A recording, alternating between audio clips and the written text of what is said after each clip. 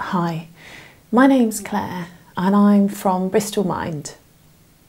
This video is really about sharing some essential tips with you to help manage your anxiety or stress and worries uh, where it's scary. We're not sure what's going to happen next and that can make anyone feel very anxious. But why do we feel like this? In essence, it's really about the concept of feeling out of control. We tend to spend most of our lives creating a world which we can kind of control.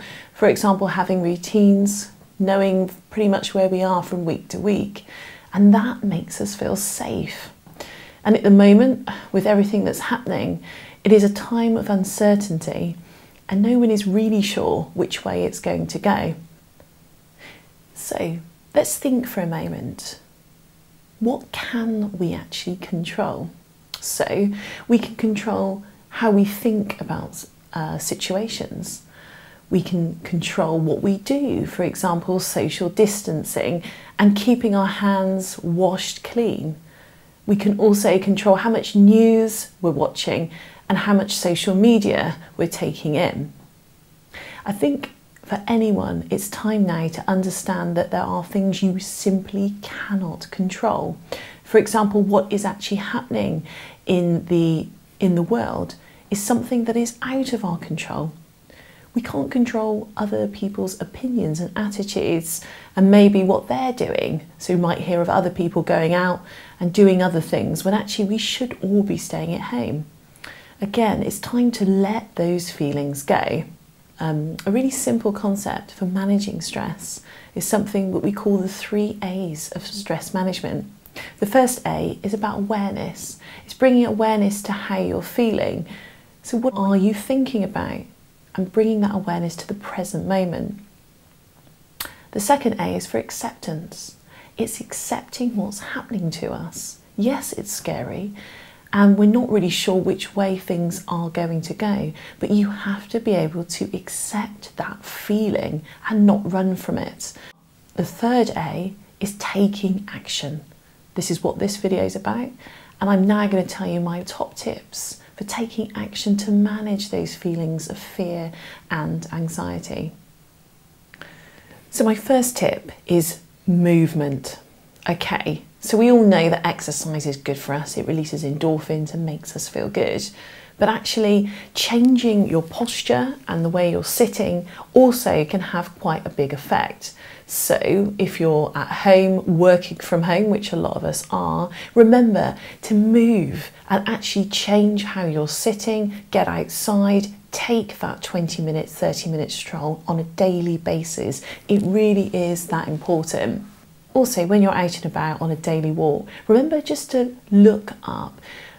Avert your eyes upwards.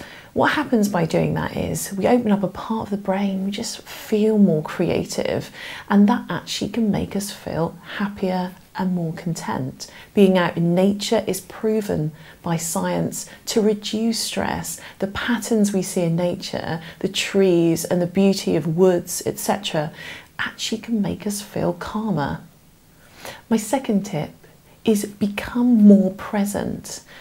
What happens when we're racing into the future is it is anxiety inducing. If you're constantly going forward into what may or may not happen, it starts the fight or flight response, which is a natural way of making us feel to, to protect ourselves from any threats. If you root yourself more in the present moment, then you will feel that you're what scientists call in the flow.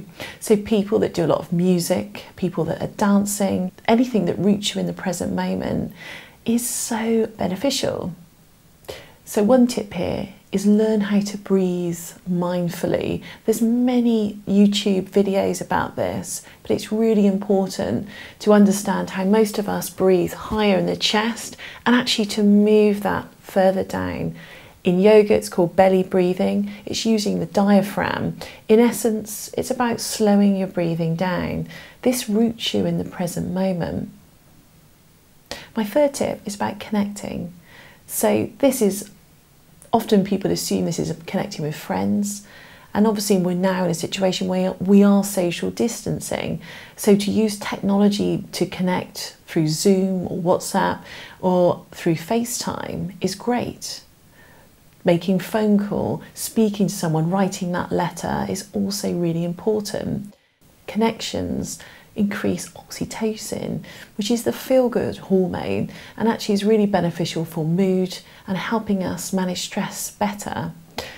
More than that, though, connecting with yourself is also key. So, spending a bit of time in solitude, if you can, if you, like me, have a busy life with children, it's not always that easy, but taking 10 minutes out in the morning to have some present time in the present moment to relax and unwind is key.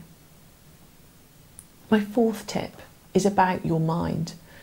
Tune in to what you're thinking about and just keep an eye on those thoughts. It's really easy to get drenched in negative thinking at this point. The news is full of it. It is quite scary. There is a lot happening in the world that is out of our control. But remember what we talked about earlier. When you think about control, you can only control how you think about something, not actually what is happening. So we must get some perspective look at the facts, but also realise that a lot of the reporting is the negative news. There are other stories of communities growing, positive news, people recovering, and people doing amazing things. So focus on that. Our minds are very powerful and will keep us thinking negatively unless we become aware of it. It's about balance, not about thinking positively about everything. That doesn't work either. It's just having an idea of where your mind is going. So keep an eye on it and tune in every day and just realize that actually our thoughts are what create our actions, our moods, and our behaviors. So they really are at the forefront of everything. Finally, my fifth tip is to find some meaning in all of this. And this will really help with your stress levels and it will give you a bit of purpose.